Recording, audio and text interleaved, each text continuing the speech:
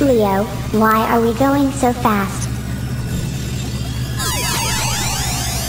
There's a good reason why the others stopped coming.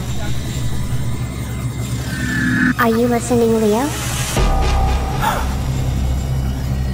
We have reached our destination. I'm plunging us into this black hole so we can become one with the cosmos. Our mortal bodies have taken us as far as they can.